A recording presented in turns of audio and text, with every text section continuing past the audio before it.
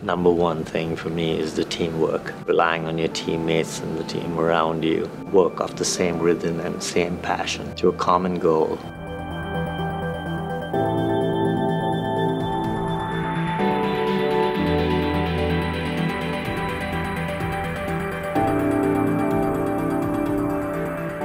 I grew up in India. We played all the sports, but field hockey was my first love. Then went on to play to college. I was also recruited to play professional. But at the same time, our immigration to the United States came up and an opportunity to go to college and realize the dream of being an engineer. I always wanted to be an aerospace engineer.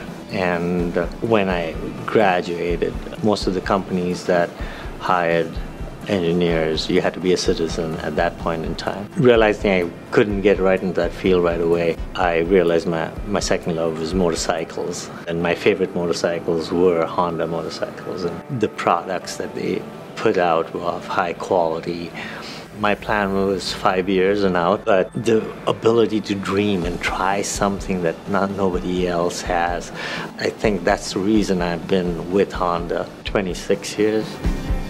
When my president sat down with me and said, I'm giving you two choices. I know you always wanted to go to the Aero, but here's another option is you can be the project leader for the NSX. It took me all but five seconds to say it's the NSX and basically the way I looked at it, it was a low-flying aircraft and what was the main attraction was this was an opportunity to create something new. This is truly the first supercar being built in North America. From the time you order the car to when you drive it, it's a new experience, which includes the manufacturing process. As we've come closer to launching this model, it's so exhilarating, and I feel so proud of this team, of what they've been able to accomplish. The things that field hockey or playing any sport teaches you one, teamwork. Uh, and that's a parallel you can see to this project is being able to pull together as a team, work to a common goal. Also, being able to work as a team when things go bad.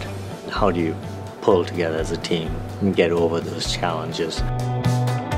When I moved here, there was no opportunities around where I was to play field hockey. So truly exactly 25 years, I hadn't picked up a stick and hadn't played.